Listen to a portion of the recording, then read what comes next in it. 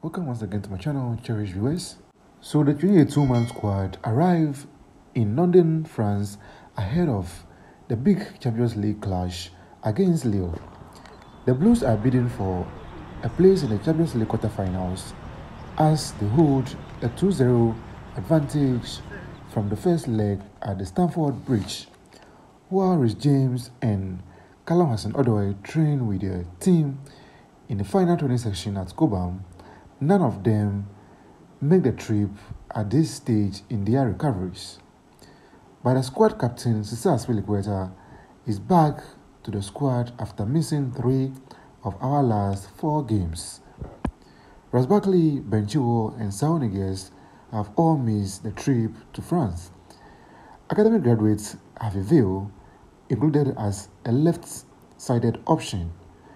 Kai Havertz and Tuchel earlier had a pre-match press conference ahead of the game.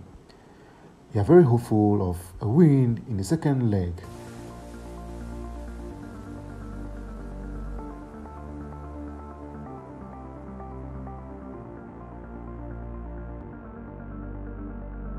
Fellow Blues, let's keep supporting the boys as they work hard to defend the Champions League title. This will be my time for now. Kindly subscribe to my channel for more updates.